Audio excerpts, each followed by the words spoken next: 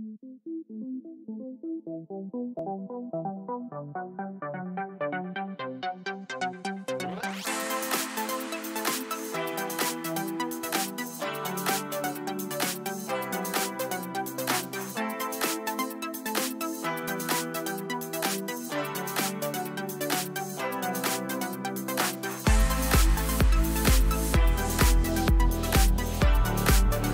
Houston, contact with a test. One, two, three, four, five, four, three, two, one.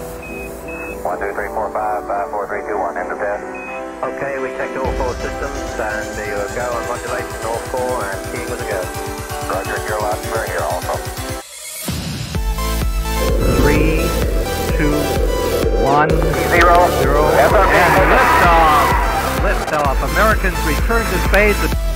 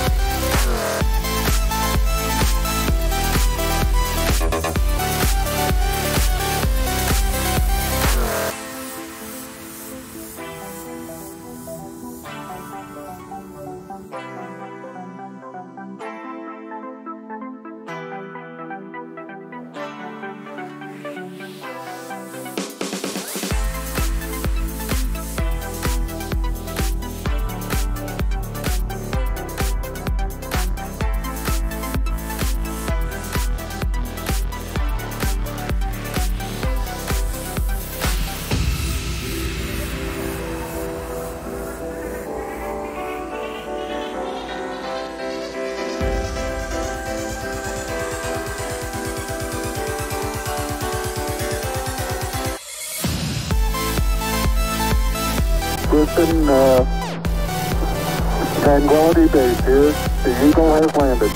Roger, Tranquility. We copy you on the ground. You got a bunch of guys about to turn blue. We're breathing again. Thanks a lot.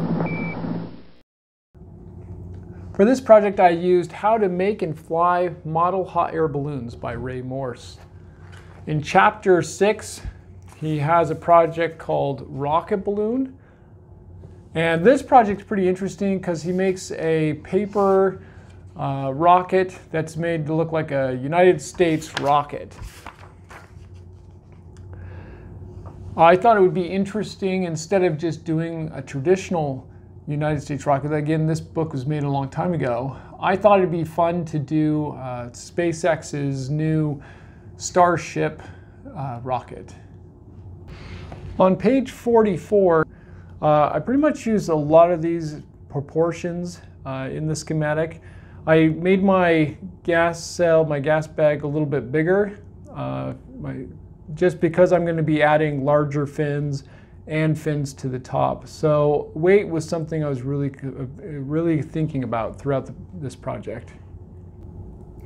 So once I had kind of a general idea of what I wanted to do, uh, next I had to choose some material. And in the book they use paper, but what I really wanted to do was I wanted to use emergency blanket. The emergency blanket, once it unfolded, kind of had the same look as uh, SpaceX's uh, Starship. It kind of has this, this interesting pattern to it. So after getting the right length, the next step I needed to do was to, to, was to tape it together and to form the nose cone, I had to uh, add triangles to the top that I eventually would tape together. After getting my length of my space blanket right, uh, I've taped two panels together to make the form the length, and I really liked how it started to turn out. Like I could really start to see the pattern. Next, I went and cut out the triangles. Now, in Ray Morse's book, he has you uh, tape the triangles to your uh, sheets of tissue paper before you form the tube, but unfortunately, I didn't. I did it afterwards, and it wasn't. It was. Uh, it would have been better if I would have done it all at once uh, instead of putting the triangles on after the tube. But once I had them taped on, um, I went ahead, the next step is to tape them together. Now this was a little bit of a challenge. Um, once you got past the first, I don't know, like three inches, they really, it was much easier to line the triangles up next to each other, side to side. Once I had all my stuff together, in Ray Morse's book, he has a little, uh, the lifting ring on the top, but I left this off mine. But it, generally speaking, it did look like this, and I was very happy. The next step was I'm gonna have to figure out how to do my fins. So once I figured out my proportions and kind of what size I wanted to have my fins compared to the body, I decided to make my fins out of paper. Uh, ultimately, this would be, my fins would be too floppy. So I had to add some extra stiffening to them. So I kind of make a, a, a T on running along the edges. I didn't do the full edges because again, I was concerned for weight, but ultimately that made my my, flat, my fins too flappy and they were hard to control.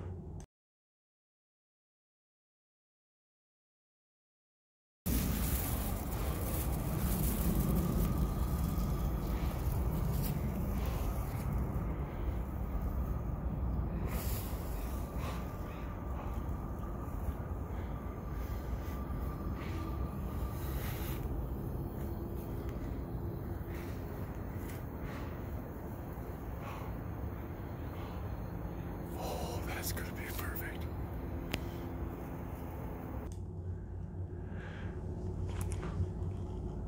Once I had done my outside test, I needed to attach my fins.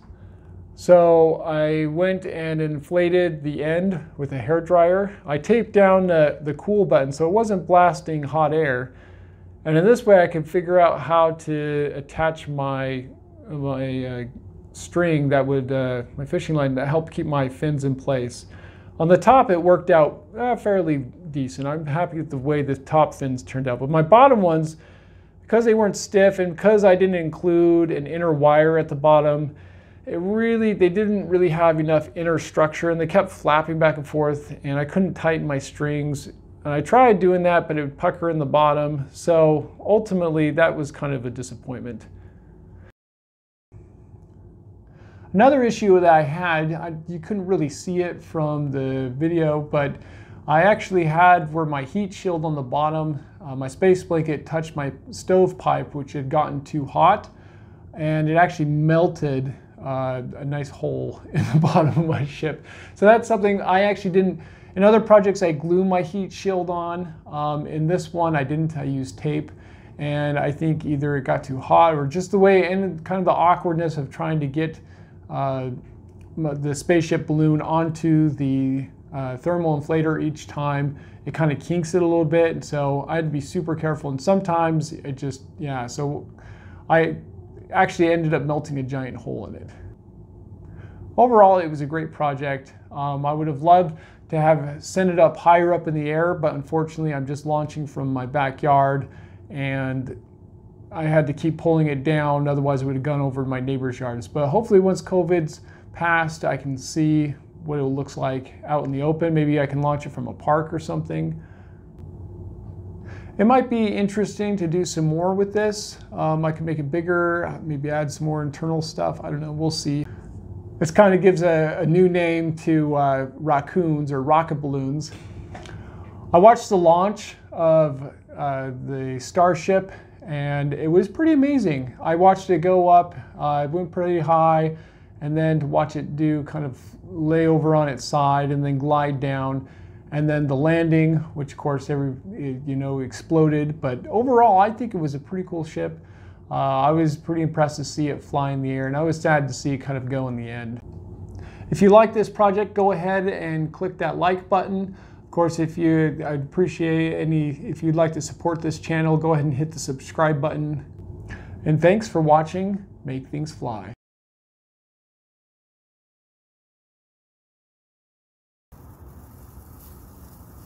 Oh no! Oh, I missed the hole.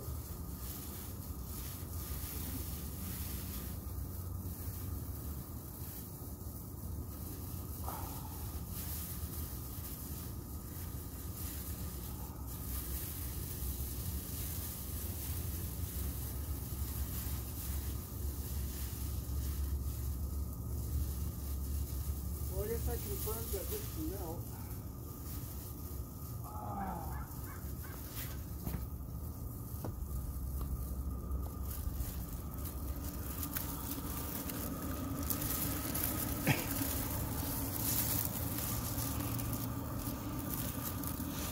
Okay, ready for another lunch?